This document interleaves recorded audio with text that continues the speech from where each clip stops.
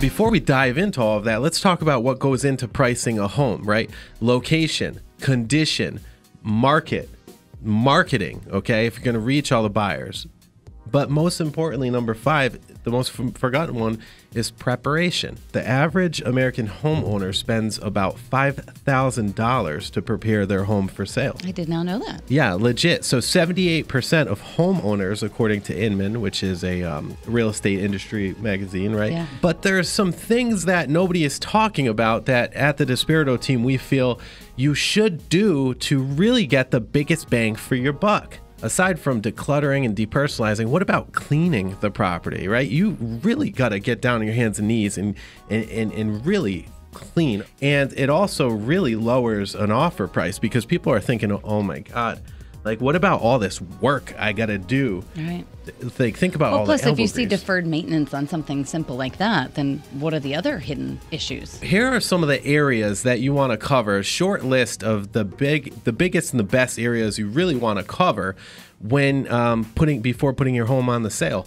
The front entrance walkway. Just look at your house and look at everything. Look at the curb appeal. Look at the bushes. Look at the front entrance. Are there cobwebs on your lights? And we'll get rid of the cobwebs, right? Yeah. When you walk into the home, the floors, you know, the floors are overlooked so much. And, and this retail stores spend millions and millions and mi- probably billions of dollars in keeping shiny floors. How about the bathrooms? Yeah. How many homes have you gone in where there's mold between like the in the grout and the tiles?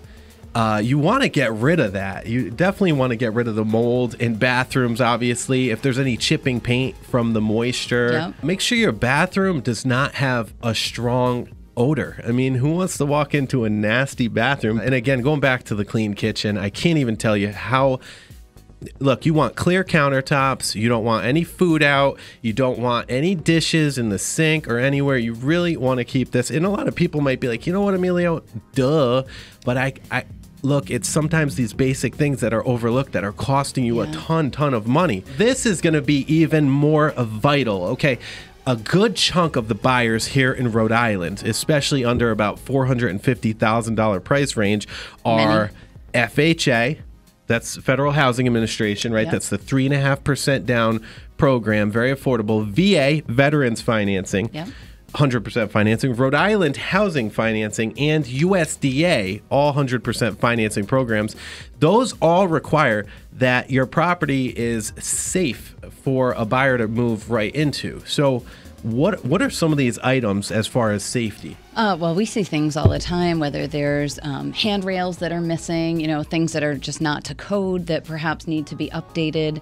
So we do see a lot of that that come up as a result of inspections and very often can delay closings because now there's this last minute where the seller is scrambling to get these items resolved so that the buyer's home inspector can come back out, give it the approval so the lender can clear the loan. Absolutely. I would say about nine and a half out of 10 sellers are not doing these pre list home inspections. And let me tell you something, it really hurts you. It really, really does. So if you invest money up front, to go ahead and ease buyers' concerns. Now, think about the intrinsic value in that, as well as the fact that buyers are asking for $3, Melissa, $3 worth of repair credits for every $1 Is that really of actual repairs. It's I did in- not know that number. it's totally insane.